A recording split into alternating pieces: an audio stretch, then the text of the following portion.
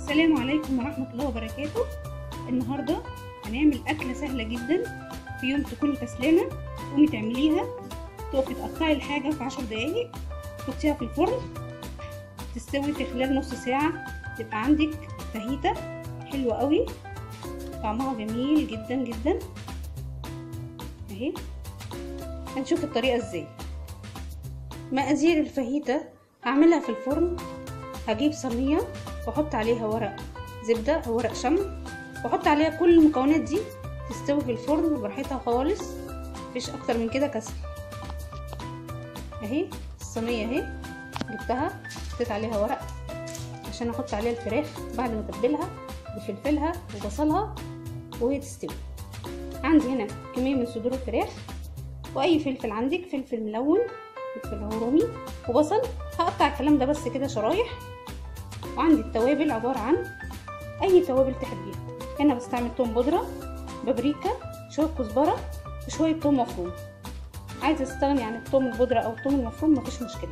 وأحط معلقة عسل أسود تديها لون حلو قوي طعم كده مسكر. وإيه؟ ومعلقة زيت زيتون وملح وفلفل. هنشوف إزاي. هنا خلاص قطعت الفلفل الملون والبصل.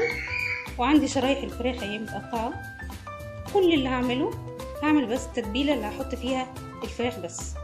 تتبيلة أهو هجيب معلقة الثوم المفروم كده ومعلقة الثوم البودرة شوية كزبرة ناشفة وشوية بابريكا.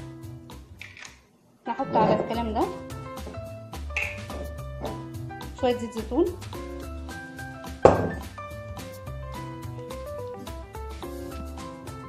شوية عسل أسود معلقه صغيرة. شوية ملح. وفلفل أسود. بس ونقلب الكلام ده.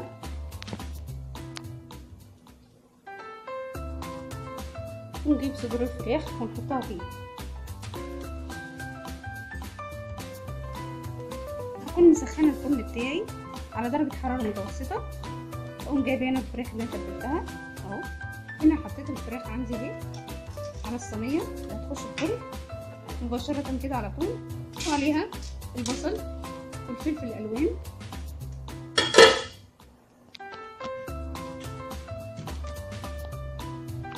هقلب الكلام ده كويس.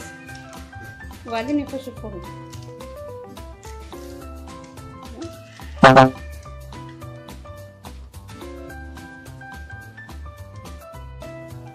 وهي في الفرن. جميلة جدا. هي كده لسه في الفرن. اطلعها بقى عشان أعمل التاتش النهائي بتاعها. ده شكلها بعد ما طلعت.